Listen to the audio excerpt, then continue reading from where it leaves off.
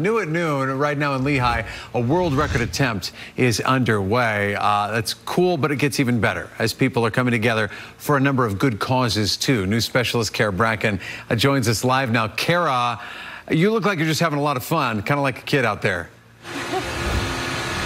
Yeah, exactly. Embracing all of it. Guys, this is a Guinness World Record attempt. We are looking to build the largest blanket fort ever in history. So we're going to actually do a little part of this. This is my new friend Alex. Alex, thank you so much. We'll grab this clip here and put this up. So this is going in for the record. And not only that, we are looking at bringing together organizations and also making a little boy's dream come true. The current record's about 6,800 square feet. Not for too much longer. Once this is all said and done, it will be 10,000 square feet. So we, we feel pretty good about that one. They also feel good about teaming up with Rehouse Salt Lake to partner with Make-A-Wish Utah and make a little boy fighting leukemia's wish come true. There's a, a five-year-old. His name is Link. He is a total fighter. One of the things that he's really excited about is to be a part of a, an official world record.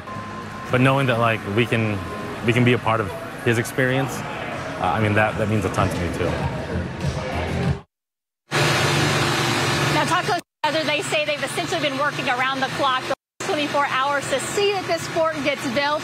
And also, that little boy, he's going to be here later this afternoon to put up the last blanket to make sure that he gets that big dream of seeing his name on a world record. For now, they're reporting live here in Lehi. I'm Kara Bracken for KSL 5 News. Doing a lot of good, Kara, and bringing a lot of smiles as well. Thank you for that story.